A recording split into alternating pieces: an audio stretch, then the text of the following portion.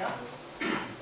Das heißt, es gibt also hier noch schon das Barer BSK-Darlehen mit also Stand 219.836 und der Volksbankkredit für Haus der Musik also mit also 2.035.000 Stand 31.12.2018 Volksbankkonto Korrent mit 274.612 zum 31. Dezember.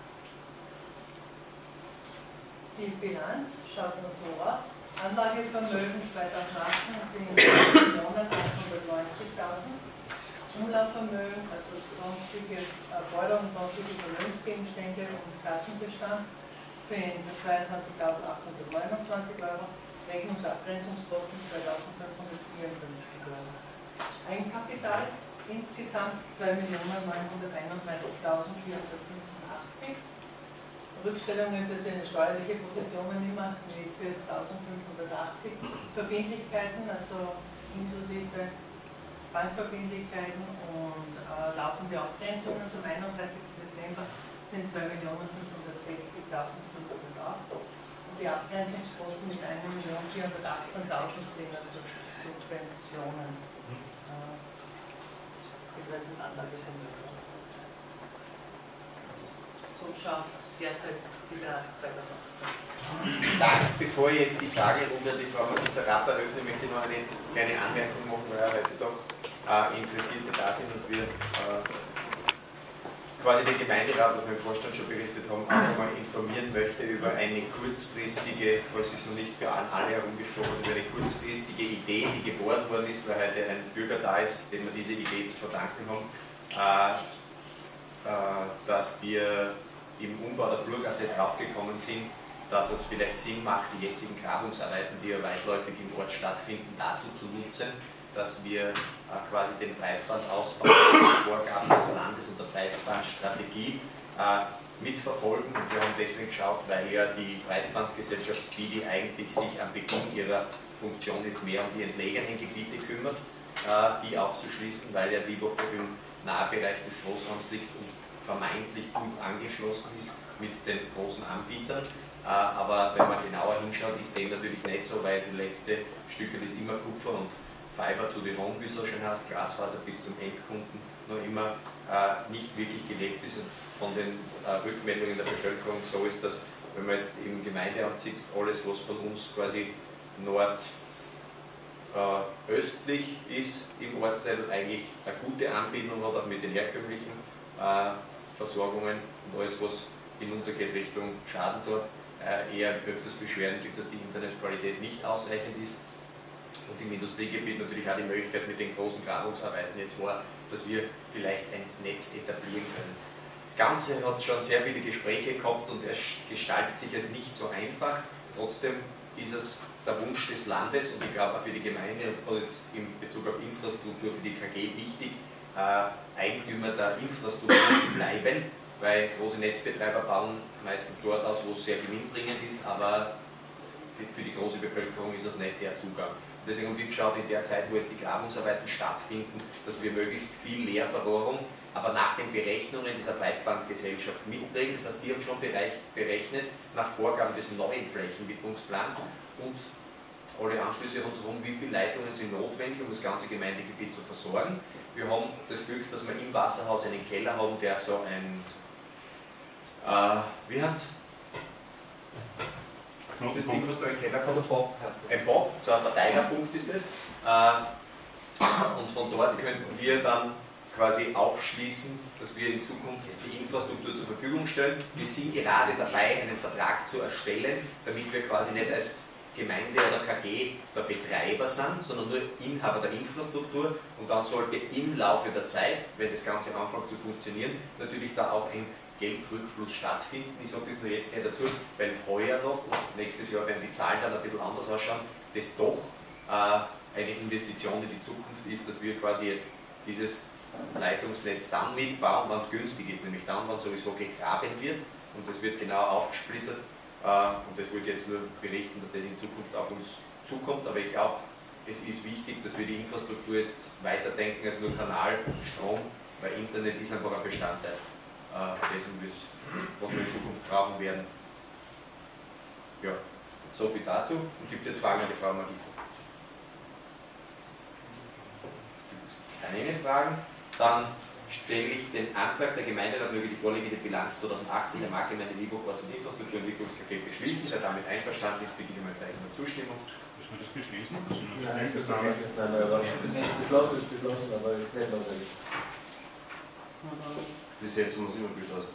Jetzt muss ich mal Ja, beschlossen. ist aber jetzt im Prinzip ja, nicht vom Betonverschied beschlossen, aber ist ja. Zollen kann man nicht verändern. Gut, passt. Dann gehen wir zum Tagesordnungspunkt 4 und davor bedanke ich mich bei der. Ich muss ja entweder Ja oder Nein Stefan. Entweder Ja oder Nein.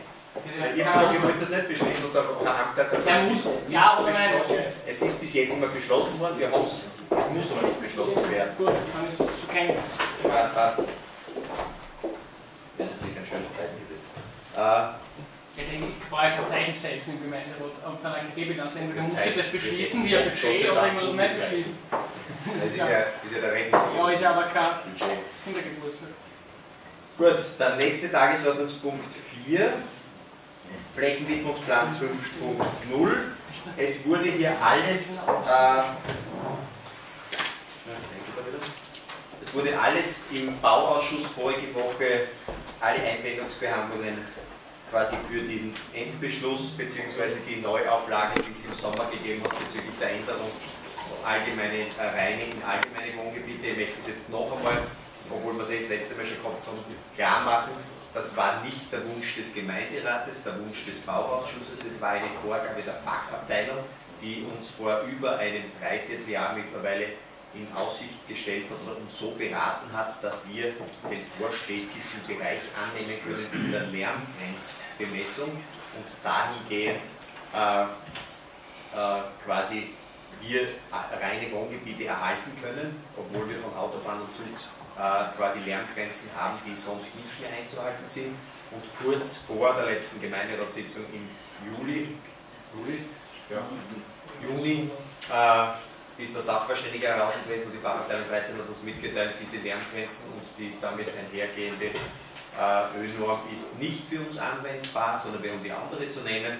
Und dann haben wir über den Sommer einstimmig da im Gemeinderat, oder fast einstimmig im Gemeinderat beschlossen, quasi die Neuauflage und die Umwandlung der allgemeinen in reine Wohngebiete, um gleich der Bevölkerung auch die Angst zu nehmen. Es ist fast keine andere Nutzung. Was? Umgekehrt. Reine in allgemeine, äh, Entschuldigung, die, es ist fast keine andere es ist fast keine andere Nutzungsart möglich zwischen den zwei Kategorien. Der größte Unterschied ist der Lärm und auf den ist eingegangen worden und nach Vorgabe des Landes haben wir es aufgelegt. Und es hat jetzt gegeben noch einmal acht Einwendungen und die muss ich, wie es so ist, äh, einzeln vorlesen. Erstens Militärkommando Steiermark, Stellungnahme, keine zu berücksichtigen militärischen Interessen. Behandlungsvorschlag des Bauausschusses war Kenntnisnahme. Ich stelle daher den Antrag, der Gemeinderat möge den Behandlungsvorschlag folgen. Wer damit einverstanden ist, bitte mein Zeichen der Zustimmung. Gegenstimmen, Enthaltungen, danke, einstimmig. Zweitens, Amt der Steiermärkischen Landesregierung, Abteilung 13, Bau und Raumplanung, A. Bauland, Einwendung, keine Einwendung, Hinweis auf die Endfassung anzupassende Inhalte des Wortlautes WA statt WR, aktive Bodenpolitik und zu ergänzende Erläuterungen. Behandlungsvorschlag, Kenntnisnahme und Berücksichtigung der Hinweise. B. Bebauungsdichten, Einwendung, keine Einwendung, Behandlungsvorschlag, Kenntnisnahme. C. Bebauungsplatz, Zonierung, Einwendung, keine Einwendung, Behandlungsvorschlag, Kenntnisnahme. Genehmigungsvorlage, Endfassung 1. A. ÖEK, Entwicklungsplan, Einwendung, Darstellung Lärm laut Planzeichenverordnung. B. Darstellung der Ortsbildschutzzone, Behandlungsvorschlag, Berücksichtigung. Lärm, Lärmemissionen sind bereits im Auflageentwurf wie auch in der Endfassung dargestellt. Laut Planzeichenverordnung kann der entweder mittels Symbolen oder mittels Isophonen dargestellt werden. Da mit der Lärmuntersuchung durch die IG Büble und Krishna, die die Gemeinde als Grundlage für die Planung beauftragt hat, Isophonen verfügbar sind, wird auf diese aussagekräftigere Form der Darstellung zurückgegriffen. Ortsbildschutzzone, die fehlende Signatur wurde ergänzt. B. Zentrum bzw. Kleingebietspartner Süd, Einwendung. Die Einwendung wie im Auflageentwurf bleibt aufrecht, eine Versagung der Genehmigung wird angedroht. Behandlungsvorschlag keine Berücksichtigung, Begründung siehe Beantwortung der Einwendung zum Auflageentwurf Punkt B4. C. Industriegebiet Süd Hochwasserfreistellung, Einwendung, die gesamte Fläche ist hochwasserfrei zu stellen, Behandlungsvorschlag keine Berücksichtigung, Begründung, die Möglichkeit der Hochwasserfreistellung gemäß dem Programm zur hochwasserrechtlichen Entwicklung der Siedlungsräume, Sachprogramm Hochwasser wurde im wasserbautechnischen Gutachten der Ingenieursgemeinschaft, Interessengemeinschaft Diplom-Ingenieur Billig und Krishna nachgewiesen. Dieses Gutachten wurde nun um eine Stellungnahme der IG Billig und Krishna ergänzt. Der Zwang einer Hochwasserfreistellung der gesamten Gebietes geht aus dem Sachprogramm Hochwasser nicht hervor. Bei einer nur teilweisen Hochwasserfreistellung wie im Industriegebiet Süd wird eine für den Hochwasserabfluss günstige, weil weniger Hochwasserraum beanspruchte, aber dennoch für den Schutz ausreichende Maßnahme ergriffen. Die, das Aufschließungsgebiet wird nur zu einem Teil in Anspruch genommen. Die Baubewilligung erfolgt auf der Basis der Bestimmung des § 8 Steirisches Raumordnungsgesetz 2010 innerhalb des Aufschließungsgebietes. D. Sondernutzung Sportschutz der Würfelnatter Einwendung Schutzmaßnahmen können nur in Form einer zivilrechtlichen Vereinbarung sichergestellt werden. Diese könnte Eintrittsbedingung für eine zeitliche Folgenutzung sein. Behandlungsvorschlag keine Berücksichtigung. Begründung siehe Beantwortung der Einwendung zum Auflagepunkt E19 stelle den Antrag, der Gemeinderat möge dem Behandlungsvorschlag folgen. Wer ist damit einverstanden? Gegenstimmen? Enthaltungen? Danke. Eine Enthaltung. Die Frau Vizebürgermeister Teiler. Drittens, Walter Reichschlag, Weg 7a, Grundstück 1474 durch 2, Einwendungsverlangen, Beibehaltung von Reine Wohngebiet. Behandlung, keine Berücksichtigung. Begründung. Wie in den Erläuterungen des Flächenwidmungsplans erwähnt, ist die Lärmbelastung, Lärmbelastung der Grund für die Änderung von reinem zu allgemeinem Wohngebiet. Die Gemeinde hat von einem Fachmann, Ingenieurgemeinschaft Diplom-Ingenieur Billig und Diplom-Ingenieur Tischner, Lärmkarten ausarbeiten lassen, die als Grundlagen für die Raumplanung dienen. Dabei zeigen sich, wie auch bei weniger genauen Lärmkarten des Bundesministeriums für Nachhaltigkeit und Tourismus, abrufbar unter lärminfo.at, dass große Teile der Wohngebiete mit Lärm belastet sind die für reines Wohngebiet keine Grundlage bieten. Maßgeblich sind die Lärmrichtwerte der ÖNOM S 5021 und die Richtlinie des österreichischen Arbeitsrechts für Lärmbekämpfung eine abweichende Auslegung, die die Gemeinde im Auflageentwurf Entwicklungsplan 5 geplant hat, stellte sich ebenfalls erläutert als nicht haltbar heraus. Auch auf ihrem Grundstück werden laut den Lärmgrundlagen die Richtwerte für reines Wohngebiet im Zeitraum nach deutlich überschritten. Eine Rücksichtnahme auf Wohnbauträger liegt der geänderten Baugebietswidmung nicht zugrunde, abgesehen davon, dass es für Wohnbauträger kaum von Relevanz ist, ob seines oder allgemeines Wohngebiet festgelegt ist und keine Planungsinteressen in diese Richtung bekannt gegeben wurden, würde auch diese keine Planungsgrundlage bilden. Ich stelle den Antrag, der Gemeinderat möge dem Behandlungsvorschlag folgen. Bitte um ein Zeichen zustimmen. Gegenstimmen Enthaltungen, danke, einstimmig. Viertens, Amt der Steinmärkischen Landesregierung, Abteilung 16, Verkehr. Einwendungsverlangen, Grund, Grundstück 560 durch 2, Teil von 560 durch 1, Sondernutzung Erwerbsgärtnerei statt WH. Erschließung über den Bestand, Erklärung mit der Baubezirksleitung auf Anbindung über die Hochstraße herzustellen ist. Behandlungsvorschlag teilweise Berücksichtigung, die Erschließung des Grundstückes erfolgt über die bestehende Zufahrt, eine Abstimmung mit der Baubezirksleitung wird als nicht erforderlich betrachtet. Begründung, die nun im Flächenwidmungsplan 5 vorgesehene Sondernutzung ist keine Neuplanung, sondern ist der im Flächenwidmungsplan 4 festgelegte Rechtsbestand. Die Planung geht daher mit keiner Änderung des Iststandes einher.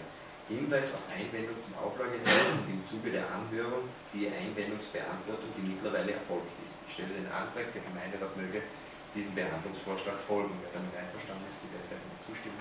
Gegenstimmen, Enthaltungen, danke einstimmig. Fünftens, Rechtsanwalt Lega Ulf für Kleiner Alexander und Iris, Grüne Gasse, Kleiner Theresia, Lindengasse, Tescom Group GmbH, Raba Krambach sowie Blumel Sabine, Veronika Adelheid und Johann Möhring 23 Einwendungsverlangen Beibehaltung von meinem Behandlungsvorschlag keine Berücksichtigung. Begründung. Die Planung wird aus folgenden Gründen wie im aufgelegten Entwurf beibehalten. Allgemeine Wohngebiete bilden keineswegs die Grundlage für vorprogrammierte Nutzungskonflikte. Sie werden dann als im Steinmärkischen Raumordnungsgesetz festgelegte Baulandheitsberufe Wohnen undenkbar. Die Einschränkung von Nichtwohnungsnutzung im Steirischen Raumordnungsgesetz Gesetz auf Nutzungen, die der Versorgung der Bewohner von Wohngebieten dienen, vor allem aber die Bestimmungen, dass diese Nutzungen nur zulässig sind, soweit sie keine dem Wohncharakter des Gebietes widersprechende Belästigungen der Bewohnerschaft verursachen, sichert eine mit dem vorhandenen Gebietscharakter verträgliche weitere bauliche Entwicklung. Wie in den Erläuterungen der Planung erwähnt, hat die Gemeinde im örtlichen Entwicklungskonzept für den Funktionsbereich Wohnen unterschiedliche Zonen festgelegt. Unter anderem im Bereich des Höhenweges ist die Zone Wohnen Einfamilienhausgebiet festgelegt, die der Bebauung unabhängig davon, ob reines oder allgemeines Wohngebiet festgelegt ist, eine, einen an den Einfamilienhausbebauung angepassten Rahmen vorgibt, wodurch der Gebietscharakter einen zusätzlichen Schutz erhält. Die Gemeinde hat als Planungsgrundlage eine Lärmberechnung durch die Ingenieurgemeinschaft, die in Auftrag gegeben. Diese zeigt zwar geringere Belastungen als die auf der Grundlage der EU-Umgebungslärmrichtlinie ausgearbeitete, weniger exakten Lärmkarten des Bundesministeriums für Nachhaltigkeit und Tourismus, aber auch nach der Berechnung der Ingenieurgemeinschaft Billig Krishna werden um die Grüne Gasse, die Lindengasse die niedrigeren Richtwerte für reines Wohngebiet nachts nicht oder nur in den Lärmschatten der Gebäude erreicht. Selbst am oberen Höchstwert werden die Grenzwerte nur zum Teil erreicht. Am Grundstück der Familie Blumen etwa auf der oberen Grundstückshälfte.